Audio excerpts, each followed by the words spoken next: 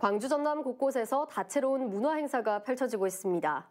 노무현 전 대통령의 서거를 추모하는 기획 전시부터 아시안 푸드 페스티벌까지 다양합니다. 이준호 기자가 전해드립니다.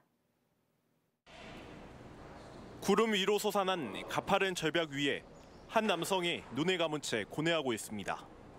지난 2009년 부엉이 바위에서 죽음을 택한 고 노무현 대통령을 형상화한 작품입니다. 우리에게 마지막으로 흔적을 남겨주신 산이 이렇게 작품으로 다가오니까 슬픔 이런 느낌들로 관람했습니다.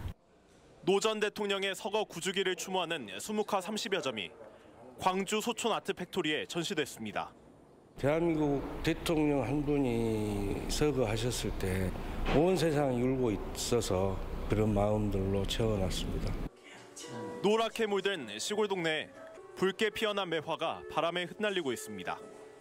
유년 시절 고향의 그리움을 표현한 박구한 화백의 판화 작품입니다.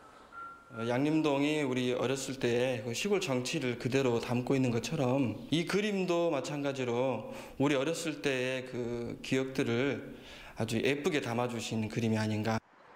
가족과 함께 즐길 수 있는 축제와 공연도 풍성합니다. 광주 구시청 사거리에선 아시아 각 나라의 음식을 무료로 맛볼 수 있는 아시아 푸드 페스티벌이 담양 가사 문화권에선 조선시대 문학을 즐길 수 있는 누가 풍요처사가 선보입니다. KBC 이준호입니다.